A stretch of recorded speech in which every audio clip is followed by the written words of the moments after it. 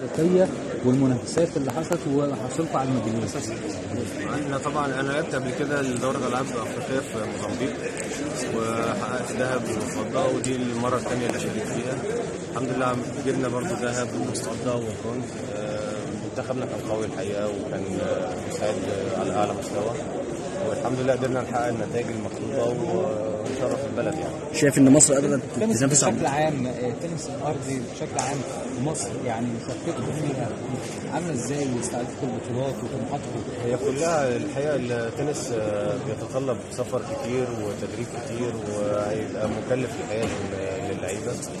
آه، منتظرين إن شاء الله يبقى في دعم من ال- من البلد وكده ان يقدر آه، يساعدونا في السفر والتجهيز خصوصا عندنا اثنين لعيبة طالعين الأولمبياد. وان شاء الله يبقى ليها تجهيزات خاصة ونتمنى توفيق للعيبة. التنس حقق إنجاز أول مرة تحققه حضرتك آه، على المستوى الشخصي جايب ميدالية فضية إحساسك؟ أنا جايب آه، ميدالية فضية وبرونزية. الحمد لله طبعا مبسوطين لأن بيبقى علينا ضغط. لازم لازم نحقق ميداليات. على مستوى الشخصي بتبقى مهمة وعلى مستوى البلد إن الواحد يقدر يشرف بلده خصوصا طالع يمثل مصر. فالحاجات دي كلها طبعا مهمة جدا وبتفرق في نفسية اللاعب وبتفرق في ثقته في نفسه والحمد لله قدرنا نفرح الناس اللي بتساعدنا.